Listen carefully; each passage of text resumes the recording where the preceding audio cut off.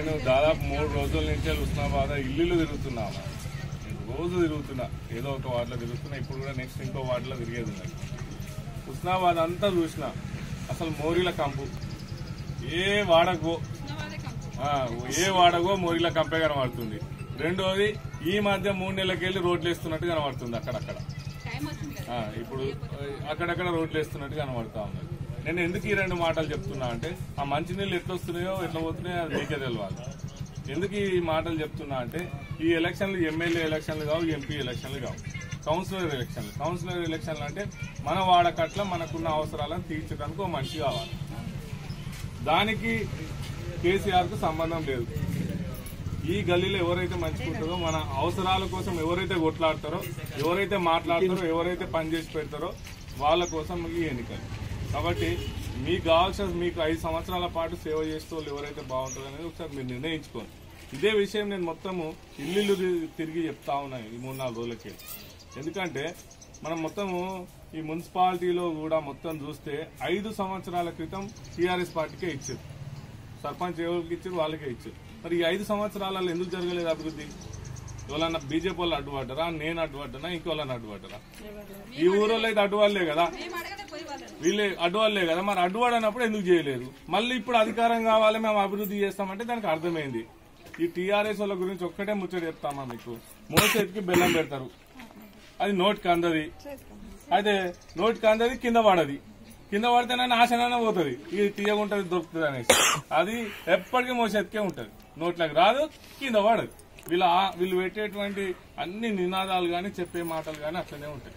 కానీ మోసపోకుంది ఒక్కటే ఒక మాట చెప్తుంటారు వచ్చి రేపు మీకు రెండు వేల పెన్షన్ ఇస్తారు రెండు వేలు రాదు. మన అయ్యే జాగిరా మనకు రాక బంద్ చేస్తాను ఏదైనా వస్తాయి. ఇంకొకటి వీడే ఇస్తాండ? ఆంధ్రోడు విడిపోతే మనం బాగుపడతాం అనుకున్నాం. ఆంధ్రోడు విడిపోయిన తర్వాత తెలంగాణలో ఉన్న సొమ్ము అంతా మనకు పెన్షన్ రూపంలో ఇస్తాడు. అంటే ఆంధ్రోని కంటే మనకు మంచిగా వస్తుందని మనం అనుకున్నాం. కానీ విడిపోయినటువంటి ఆంధ్రప్రదేశ్ లా పెన్షన్ రెండు వేల రెండు వందల యాభై బాగుపడేది. విడిపోయిన ఆంధ్రోడు బాగుపడుతుందా మనం బాగుపడుతున్నామా?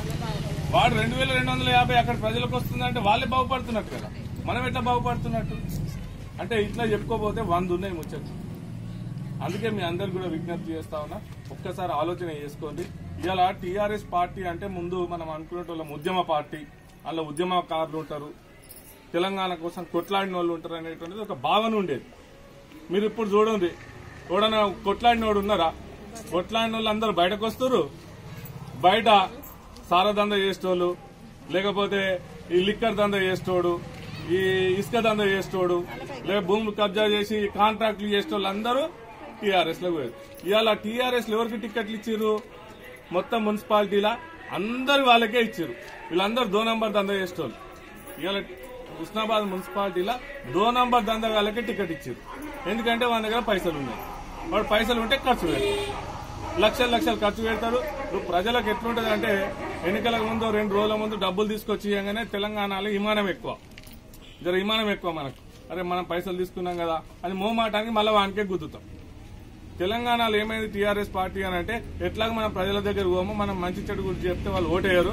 పైసలతోటే ఓటు కోరాలి. పైసలు ఎవరి దగ్గర ఉన్నాయి? ఈ దో నంబర్ దందాగాళ్ళ దగ్గర ఉన్నాయి. కాబట్టి దో నంబర్ దందాగాళ్ళని తీసుకొచ్చి మొదట పెట్టింది. మీరు అందరూ మీరు హుస్నాబాద్లో మీరు చూడండి వాళ్ళు నిజంగా ఓటుకు రెండు వేలు ఇచ్చినా ఎంత అవుతుందమ్మా ఐదు సంవత్సరాలు. సంవత్సరానికి ఎంత అయితే ఎనభై రూపాయలు అవుతుంది రోజుకు రెండు రూపాయలు ఇరవై ఐదు పైసలు అవుతుంది రోజుకు రెండు రూపాయలు ఇరవై ఐదు పైసలు ఇచ్చి ఐదు సంవత్సరాలు దోసుకునేందుకు కొనుక్కుంటా ఉన్నారు కాబట్టి ఇవన్నీ మనం గమనించాలి. ఇది ఎందుకంటే ఇది అలవాటు అయిపోతా ఉన్నది మనం ఆలోచించిన కొద్ది అదంతా దోసుకున్న సొమ్మే. వాళ్ళు ఏది పెట్టినా మనం తినాలే. తెలంగాణ ఉద్యమంలో కేసీఆర్ ఇదే చెప్పిండు. ఆంధ్రోడు ఏది ఇచ్చినా తీసుకొని ఓటు మాత్రం నాకేమన్నాడు. ఇప్పుడు కూడా మనం ఆయన చెప్పిన మాటనే. నీకెక్కడి నుంచి వచ్చినాయి ఈ పైసా అంతా నీకు ఎక్కడి నుంచి వచ్చింది ఈ పైసా అంతా ఇంత రాజభోగం ఎక్కడి నుంచి వచ్చింది? దోసుకున్న సొమ్మే కదా. అందుకే ఈ దో నంబర్ దందాగాలు ప్రతి ఒక్క దగ్గర ఉన్నారు. మీ వాడ కట్టకు కూడా ఉన్నారు. ఇప్పుడు ఈయన ఉన్నాడు. చిన్న పంచలు చూస్తారు మీరు. అదే బీజేపీలో ఉన్నాడు. అధికారం ఉండని రాకపో రాని రాకపోని. మేము వాళ్ళకే ఇచ్చినాం. హుస్నాబాద్ మొత్తంలో కూడా ఎవరైతే చిన్నప్పటి నుంచి బీజేపీని పట్టుకొని ఇచ్చారో వాళ్ళకే ఇచ్చినాం టికెట్. ఎందుకంటే మంచికో చెడుకో పార్టీని పట్టుకొని ఏడుస్తున్నారు. అధికారం కోసం ఎప్పుడు కూడా వేరే పార్టీలలో పోలేదు కాబట్టి కొట్లాడే అవకాశం రావాలి అనేసి అందరికి టికెట్ ఇచ్చినాం. వాళ్ళ దగ్గర పైసలు లేవు. ఆయన గురించి మీకు తెలుసు. కాబట్టి మీరే కడుపులో పెట్టుకోవాలి. మా బావ చెల్లె ఒకసారి అందరు కూడా మీ అందరికి కూడా నమస్కరిస్తున్నా.